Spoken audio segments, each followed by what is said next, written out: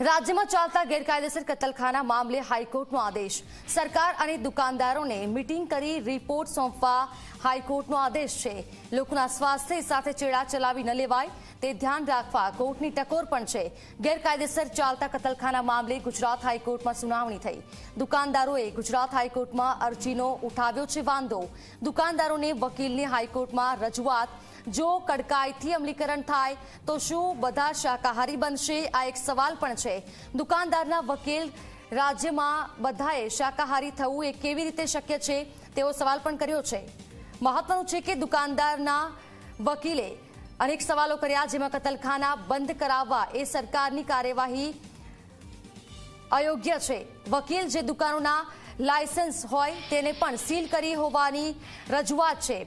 લોકોની રોજગારી છીનવાય તેવું કેમ ચાલશે?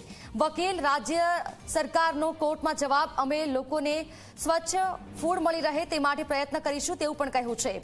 તો કેટલાક સવાલો કરવામાં આવ્યા છે. લોકોના સ્વાસ્થ્ય સાથે ચેડા ચલાવી ન લેવાય, હાઈકોર્ટે કહ્યું છે. કડક વલણ દાખવ્યું છે. દુકાનદારોએ ગુજરાત હાઈકોર્ટમાં અરજીનો વાંધો ઉઠાવ્યો છે. અને કેટલાક સવાલો કર્યા.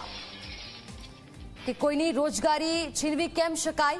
ગેરકાયદે કતલખાના મામલે હાઈકોર્ટે એક તરફ આદેશ કર્યો છે, કડકાઈ ભર્યું વલણ દાખવ્યું છે.